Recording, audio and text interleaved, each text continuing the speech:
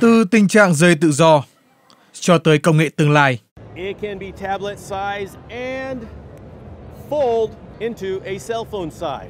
Những công nghệ thông minh và làm thế nào những công nghệ đó có thể làm cho cuộc sống dễ dàng hơn chính là chủ đề tại triển lãm điện tử tiêu dùng năm nay ở Las Vegas. Nhưng các chuyên gia nói khi công nghệ thăng tiến thì các vấn đề tiềm ẩn cũng vậy.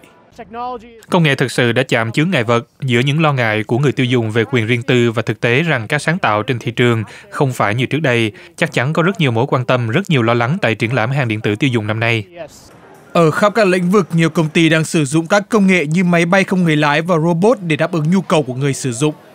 Rất nhiều trong số các công ty này, những gì họ thực sự giải quyết cho ngày hôm nay là thời gian, thị trường và sự tiện lợi. Nói cách khác, công nghệ muốn xây dựng cái gì và làm thế nào để tôi có thể đưa tới tay người tiêu dùng nhanh nhất có thể.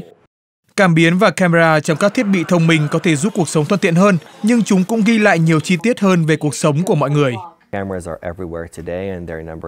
Ngày nay camera có ở khắp mọi nơi và số lượng tăng đều đặn mỗi ngày. Đó là một không gian công cộng.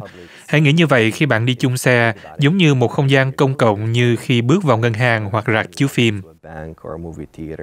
Bảo vệ thông tin cá nhân là rủi ro cố hữu mà người dùng phải đối mặt khi thiết bị của họ ngày càng kết nối nhiều hơn. Mọi người thích nghĩ rằng nhà của họ là không gian mà họ có thể kiểm soát.